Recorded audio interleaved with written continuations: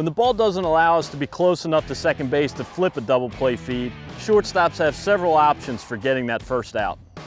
As always, we want to see the shortstop close some ground if possible.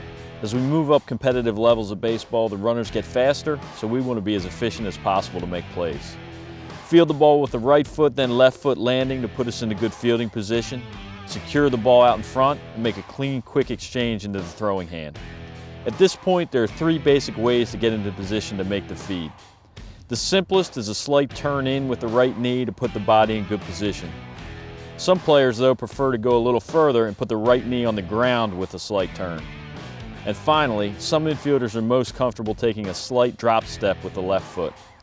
All three are acceptable, though less movement is usually the most consistent. Regardless of which one you choose, the body must stay low and open to second base, and the feed comes from a three-quarter or lower arm slot.